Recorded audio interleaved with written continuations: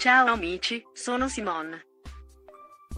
Benvenuti al nostro canale televisivo Happy Life. Su questo canale le notizie vengono trasmesse contemporaneamente dai nostri giornalisti in Italia. Bufera Cellino, Loredana Lecciso tradisce Albano, la confessione che sconvolge i fan. Mi dispiace, è stato malissimo. Ecco cos'è successo. Loredana Lecciso si è sfogata nel corso di un'intervista Grand Hotel sulla vita, che ha dovuto condurre insieme ad Albano e la sua prima famiglia, quella formata con Romina Power. Possiamo solo immaginare quello che deve aver subito la nuova donna del cantante pugliese. Nonostante il loro amore sia nato ormai dieci anni fa, sono in tantissimi quelli che desiderano un ritorno di fiamma della coppia di cantanti più amati e discusi d'Italia, che han fatto sognare con la loro storia, per poi lasciarsi nella tragedia. Il loro matrimonio, infatti, non ha resistito alla perdita della primogenita Elenia in circostanze misteriose. I giornali sono tutti per la coppia Albano-Romina e di sicuro hanno aggiunto del pepe a questo triangolo amoroso. Una famiglia allargata piena di pettegolezzi, frecciatine, inviti mancati, dispetti, senza considerare che anche la Lecciso è reduce di un altro matrimonio, quello con Fabio Cazzato, proprietario di alcune tv locali pugliesi.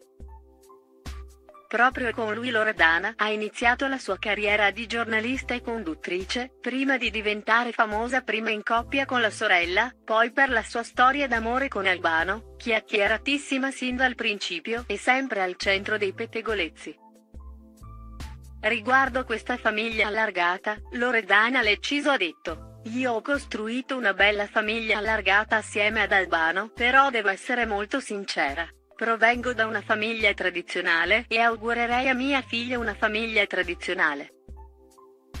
Lo so che è anacronistico dire queste cose nel 2020, però avendo vissuto entrambe le dimensioni la famiglia tradizionale non ha prezzo. L'attuale compagna del cantante pugliese ha ammesso quindi le difficoltà nel gestire il rapporto tra Albano, Romina Power e i figli di questo primo matrimonio. Romina e Albano nell'ultimo periodo sono anche tornati a cantare insieme. In una recente intervista Loredana aveva chiesto a Romina di fare un passo indietro. Le ex mogli dovrebbero fare un passo indietro a ridimensionarsi, Romino se n'è andata e lo ha lasciato con gli psicofarmaci. E dai! Di che stiamo a parlare? Adesso è troppo semplice, troppo facile, mettiamoci una mano sulla coscienza. Allora anche io posso lasciarlo e tornare dopo 15 anni e vedere se posso riprendermelo. Cara Romina, mettiti una mano sulla coscienza, mettitela pure tu. Un colpo basso però questo anche ad Albano il parlare della sua vita privata e anche che avesse dovuto assumere psicofarmici più un tradimento nei confronti del compagno, che un attacco alla sua ex moglie. Mentre l'amore tra Albano e Loredana Lecciso è rinato nell'ultimo anno e si è consolidato durante il primo lockdown, che la coppia ha passato insieme nella tenuta di Cellino San Marco. In quel periodo anche Romina era in Puglia, e ha deciso di riprendere il rapporto lavorativo con Albano ma non quello personale con la sua nuova compagna, nonostante Loredana abbia tentato più volte un approccio. Non solo, anche la terza figlia nata dal primo matrimonio di Albano, Cristel Carrisi, non sembra apprezzare la donna, che ha creato una nuova famiglia insieme al padre. La giovane donna infatti non ha invitato la matrigna al suo matrimonio con il milionario Davor Luxic. Mentre non ha avuto problemi ad invitare Brigitta, la figlia che Loredana Lecciso ha avuto dall'ex marito Fabio Cazzato.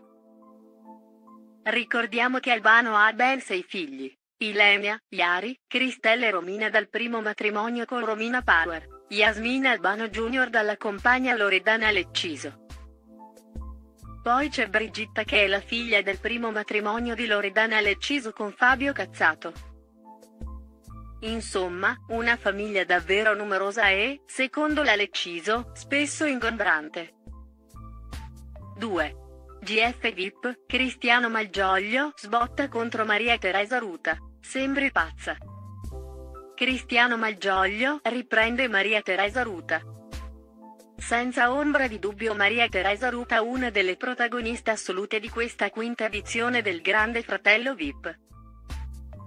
Anche se il pubblico sa casa e gran parte degli inquilini del reality show di Canale 5 la amano molto per la sua simpatia, spesso in casa malumore a causa della sua particolare risata.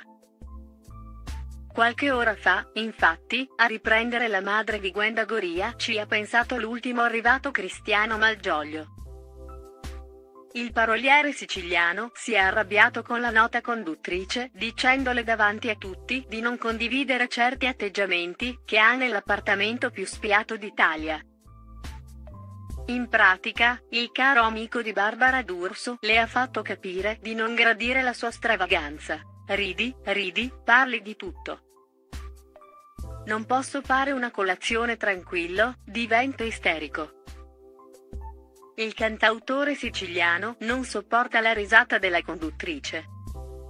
Chi segue il Grande Fratello VIP 5 sin dall'inizio sa perfettamente che Maria Teresa Ruta riesce ad animare le giornate dei coinquilini. Grazie a dei balli e soprattutto alla sua famosa risata che spesso porta gli altri a sorridere con lei. Di recente, però, Cristiano Malgioglio si è mostrato abbastanza infastidito dal comportamento dell'ex moglie di Amedeo Goria. Il paroliere catanese, infatti, si è rivolto alla diretta interessata con la seguente domanda. Perché parli in continuazione? A questo punto il 60enne in modo scherzoso, ha mosso una critica nei confronti della nota conduttrice. Sembri un 78 giri, come un disco che mi regalò mio padre che si bloccava sempre. Cristiano Malgioglio bacchetta Maria Teresa Ruta. Ma è lo sfogo di Cristiano Malgioglio al grande fratello VIP 5 contro Maria Teresa Ruta non è terminato qui. Infatti, quando quest'ultima non ha replicato perché non è scoppiata a ridere, il paroliere catanese oltre a ribadirle che dovrebbe parlare di meno ha detto anche, sembri una pazza, sembri il fantasma dell'opera. In conclusione l'inquilina della casa più spiata d'Italia si è scambiato un abbraccio affettuoso con il 60enne. Inoltre, la donna gli ha promesso che da ora in avanti metterà in pratica il suo consiglio. Ci riuscirà? Subito dopo il cantautore siculo ha parlato della sua vita privata e per quale ragione non festeggia il Santo Natale e non mangia il panettone da diversi anni. Grazie a tutti e se vi piace il nostro canale lasciate qualche commenti al di sotto.